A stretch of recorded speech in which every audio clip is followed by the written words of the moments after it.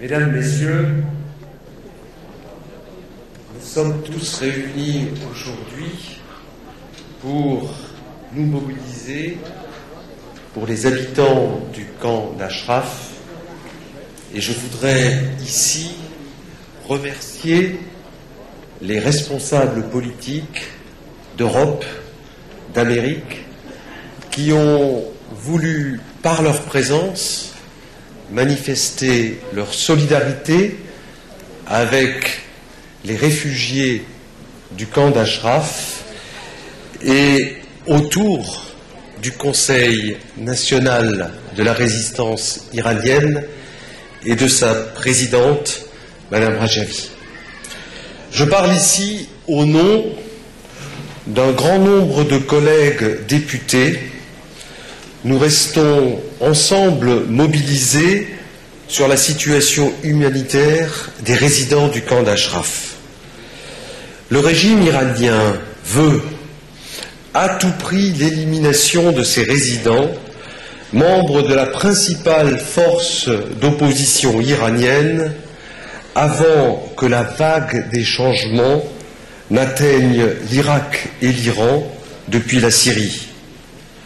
Le régime sait très bien que le mouvement de la résistance iranienne représente la principale force qui peut mener et transformer l'énorme contestation à l'intérieur de la société iranienne vers un changement fondamental et vers la démocratie. Le bilan de 33 années de règne d'une théocratie despotique devrait amener la communauté internationale, en particulier l'Union européenne et les États-Unis, à reconnaître la résistance iranienne et sa présidente élue comme l'opposition légitime et l'alternative démocratique au régime iranien, et en même temps protéger les résidents d'Ashraf. Il ne s'agit pas seulement d'une obligation politique et morale, mais d'une nécessité pour la paix mondiale. La solution durable pour débarrasser le monde du fascisme religieux qui cherche l'armement nucléaire est un changement de régime et l'établissement d'une démocratie laïque à l'attitude non nucléaire. Ce changement ne peut être réalisé qu'entre les mains du peuple iranien et de sa résistance. Au cours d'une déclaration de soutien d'une majorité des députés, représentant l'Assemblée nationale dans toute sa diversité en mai 2011, nous avons réclamé la reconnaissance de la résistance iranienne et l'établissement d'un dialogue avec le Conseil national de la résistance iranienne. C'est pour cette raison que nous avons condamné toutes les pressions exercées contre les résidents d'Achaf pour les forcer à un transfert au camp Liberty sans que les normes internationales pour un camp de réfugiés y soient établies. Nous pensons en effet que le préalable à tout transfert des résidents d'Ashraf vers Liberty est de fournir les assurances minimales aux résidents, assurances qui sont légitimes et raisonnables, sans lesquelles Liberty ne serait rien d'autre qu'une prison.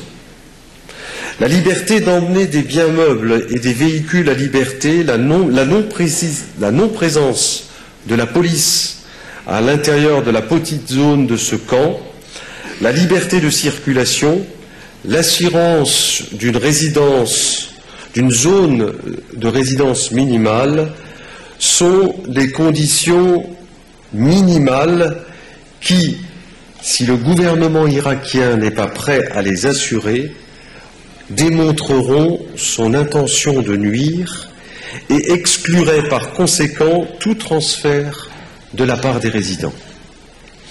Les résidents d'Ashraf et leurs représentants ont fait un long chemin en montrant tous les signes de bonne volonté pour une solution pacifique à la crise d'Ashraf.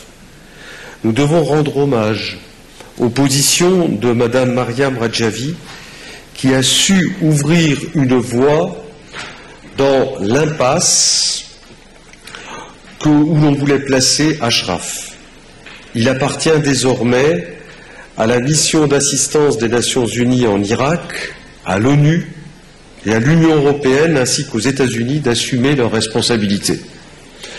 Je salue la position du haut commissaire aux Nations Unies pour les réfugiés et j'appelle le HCR à réaffirmer le statut de réfugié des résidents d'Ashraf. Depuis plus de cinq mois, ce processus, qui est nécessaire pour réinstaller les résidents d'Ashraf, est bloqué par le gouvernement irakien.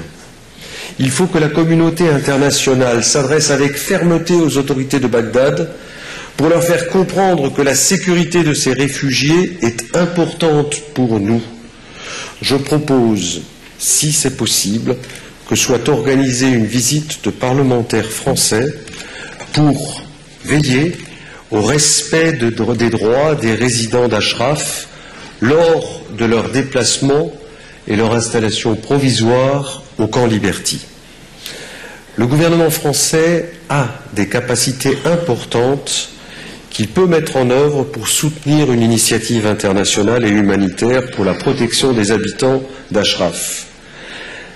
Autant que ses relations avec le gouvernement irakien, il peut obliger de respecter des engagements internationaux vis-à-vis des résidents, des résidents d'Ashraf soit dans le rôle des Nations Unies, soit dans le soutien au HCR.